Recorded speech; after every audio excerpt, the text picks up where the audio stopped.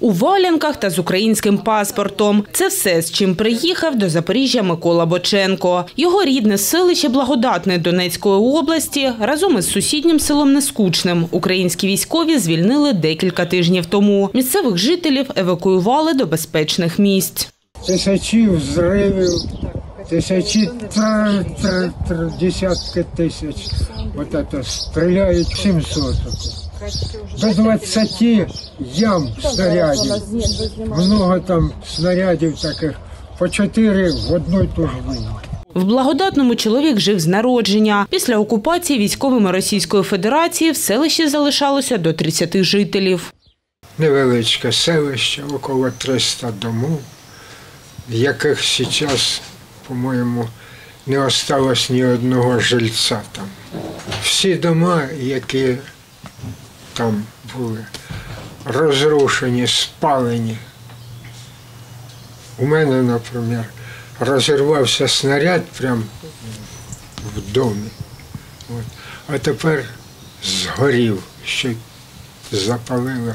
Микола показує рани від опіків. Каже, намагався власноруч загасити пожежу. Смола капля горить, падає, і тут горить. На, на руки горить капля. І то вже тут заживає, а тут ніяк. Пану Миколі 85. Розповідає, за декілька місяців від його народження почалася Друга світова війна. Її відбитки і досі залишаються на його тілі. У нас був кабан, ну невеликий такий, сарай маленький. Німець застрелив кабана там, а мене отож. Дає вірьовку, якщо ви знаєте, що воно таке з петлею, щоб я накинув за ногу, а він витягне. А я не хотів. Не хотів, стояв, а то він мене за ухо. Туди, а я чи вкусив його, чи вшкрябнув. І він в його в руках був автомат Шмайзер. Він б'є мене в груди. Ось, видно? Да.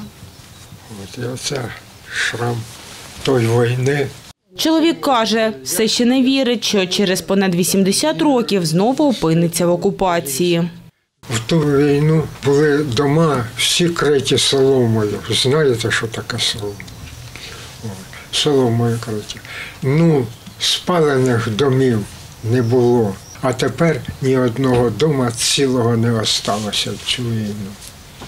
Всі буквально як не спалений, так розбитий снарядами. Останні декілька тижнів перед тим, як евакуюватися, жителі селища Благодатне ховалися у підвалах через постійні обстріли, аби вижити, розповідає сусід пана Миколи Віктор Буряк. Да, ну там все так всё. Все, в принципе, в погребах. Ночевали у меня там газовый баллон с печкой, и печку я так сложил в отдушник, дымарь вывел, так что у меня там кровать, жить можно было. Выбираешь время на свой страх и риск, чтобы проскочить это самое, а не попасть под бомбежку. Бегал и таблетки, ему все искал по деревне, у кого у людей валидол, да все такое. Конечно, под рыбу. Помогали, делились, а все. Но беда тут это, проще объединяет. Об'єдналися і тут, у Запоріжжі. Чоловіки погодилися евакуюватися при одній умові, що їх влаштують в один шелтер, розповіла комунікаційниця благодійного фонду «Карітас Запоріжжя Катерина Сиваш.